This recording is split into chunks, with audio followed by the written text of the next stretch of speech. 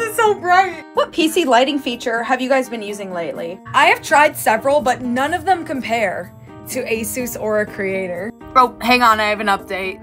I've honestly tried other ways, but this one is just my favorite. It's easy to navigate, it's not too complicated. Some of them out there are way too complicated, or they require a paid subscription to get all of the features. Be so for real. Not everything needs a paid subscription. I don't want to use a battle pass to be able to unlock the colors in my computer.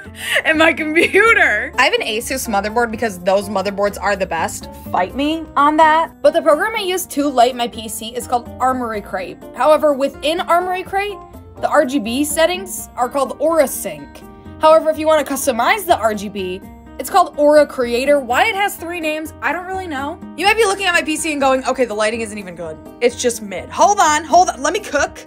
One of my favorites is the rainbow, but instead of doing plain rainbow, you add one of these gradients, like, you know, let's do this blue one. Look how cute! Oh my god, slay! This one literally screams me. This is so me core, but it doesn't match the rest of my setup, so I don't use this color. My whole PC theme is literally blue, though. So, uh, having a pink computer, computer.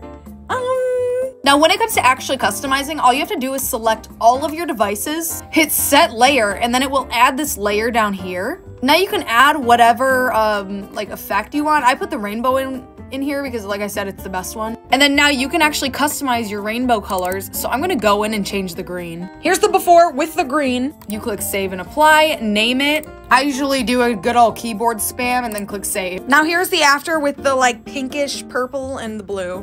I think it looks sweet. Plus it matches my setup and the liquid cooled in this computer with the pink. And it matches me. Plus, if you haven't noticed, I have this sweet display in the bottom corner, which I've used a wallpaper engine wallpaper on there, and look how good it matches. Oh my god, I'm dying.